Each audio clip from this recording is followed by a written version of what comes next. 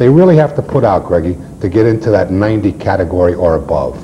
The other night we had one, uh, Boaka in the sixth race, who also, he carried about, uh, let's see, he carried Right. five pounds more, no. No, one, He- one, He carried two pounds more than anybody else in the race. now that was one, uh, there was a mistake in there, it was 131, Greggy. Yeah. That, that, that is the most weight that Larry Wyman, who is the Right. racing secretary and the handicapper, has put on this horse. Now, he won this race, which means that when he comes back again, if the owners are going to race him again, he is going to have to carry as much weight, if not more. Right. And uh, that's quite an accomplishment. I would say that the 131 and quarter horses, you could uh, uh, talk about Kelso or Forego uh, carrying a 138 or 140 pounds. This is a lot of weight for a quarter horse to carry. And he did uh, his time of, uh, at 300 yards of 15.54. Right. That achieved 100 on the speed index. That is right. That is And uh, that's absolutely the right. standard that you guys have to measure from there. All right, and uh, if I could have made a bet that particular night, I knew he was going to break the track record because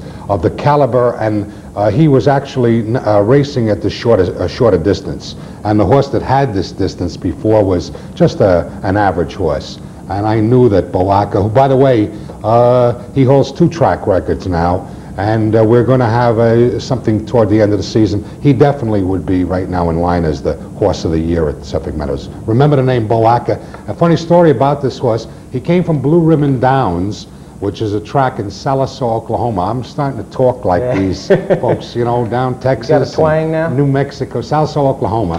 Uh, this horse was a $3,500 horse down in Sallisaw, but because of the fact that there are so many horses, uh, quarter horses who race in New Mexico, Texas, Louisiana, there's an overabundance. And some good ones get lost in the shuffle. Yep. So they've come to New York now where, they, uh, where we do not have the, the big supply. So somebody who has got some ability is going to be able to go right up the ladder, and that's what Boaka has done. He's earned uh, well over $20,000 this year, which is a lot of money for a quarter horse because most of the tracks, uh, Greg, they, they uh, race for nickels and dimes. Having seen what they, you know, looking at their program and looking at what they've earned, that definitely is uh, quite a bit more than the average horse here. I mean, there's no question about Right, that. right.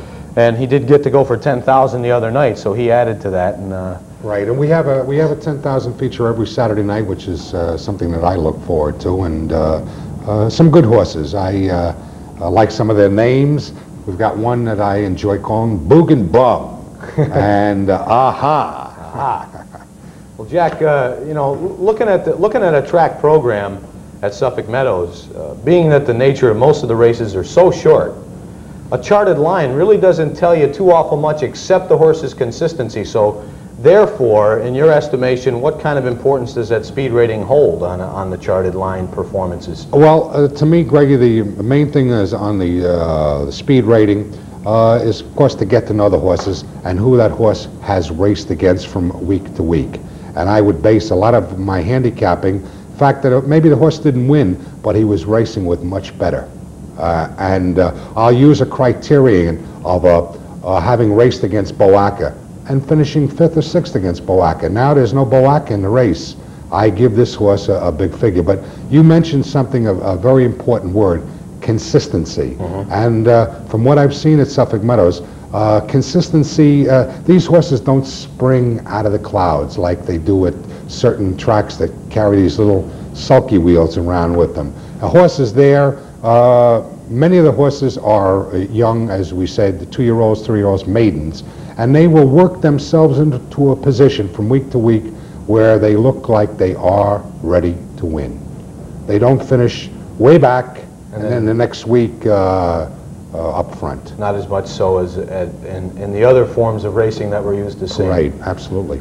Okay, now, Jack, something that I, that I think uh, is fairly noticeable, um, a lot of these races, because of the fact that they're so uh, short, I mean, some of these races at 220 yards, literally, uh, it is over in a whisper. So, uh, what I've noticed is that horses coming out of the gate, horses that get out of the gate, are the horses that are finishing in the money.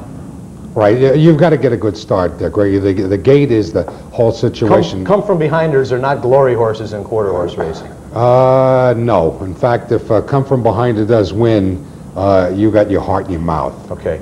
I wanted to, I wanted to show, illustrate a little bit about that that whole gate thing. And, and another thing that I kind of noticed, I have no I have no prior experience with quarter horse racing visually to say that this is true at other tracks, but I noticed that a lot of the jocks they seem to want to find a certain lane on that track.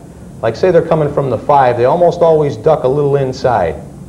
Is, is that true, or am I just overestimating something? Uh, Well, I, uh, I really don't think, uh, so I've seen, uh, I agree with you, sometimes there are guys who look for the lanes, but usually when they bust out and they're going good, they'll uh, keep them uh, going on a straight path. Okay, we've got a we've got a couple of races from uh, Sunday night's card here. Right. We just wanted to take a quick look at some some gate things going on, and we wanted to point out one horse who made a nice who made a nice move right from the start and just left the field for dead. So let's take a look at the first one. This was from the first race on the Sunday night card at Suffolk Meadows. One horse makes a very bold move right from the start. You'll see him cut right across, and he pretty much. Uh, he pretty much set the standard there. The other horse followed him right to the inside, and they left the field for dead. Right. And one thing too, uh, Greg, that I should bring up so that the fans realize when they watch the simulcasting is that uh, we've adopted a policy at Suffolk Meadows that uh, uh, many of these owners do not have registered colors Uh-huh. as they do in the thoroughbreds or harness with the drivers. Uh, so we use a standard format that the jockey wears in every race, uh, depending upon post position. So if you bet post positions, whether it be A for one or B for two, you know that the jockey will wear the same color, and that's an easy way to, to pick them out, uh, other than possibly betting on uh, a name or a hunch bet or whatever it is, but you can pick up the colors. I happen to uh, like the yellow. The, uh, That's that- easy to pick out. it- It's a striking color coming from the outside, right. Okay. Uh, I wanted to show another race here, uh, position-wise. Now, in that race right there, we saw kind of a crisscross as they came out of the gate. And I, I don't know if that's necessarily fairly typical of a lot of races. It was a fairly small field, and there was room. There was more room to move within the space toward the inside. Uh, in some races, uh, some horses may, be get, may, may get left in the gate. More so in this race. Watch the horse on the rail. This was the third race from Sunday night, and this is a, probably a real good example of how uh, gate manners and gate behavior coming out can make a big difference. Watch the horse on the inside. He's out of there a whole step ahead of everybody right from the rip, and he just ran away. What you mentioned about, uh, Greg, the uh, gate situation, when, uh, when, they, when they take two steps out of the gate, quarter horse is right now in super high gear, Yeah. uh, going better than 40 miles an hour. And uh, that's why I refer to them as the world's fastest racehorses, because there is n- no horse alive uh, at that short a distance that can keep up with them. Yes, if they were to go around the turn like Right. they, they do in harness or in the thoroughbreds, uh, they, they, would, they would tire. Okay. But at the uh, distance from 220 to 440 yards, uh, you'd probably have to use something mechanical to keep up with them.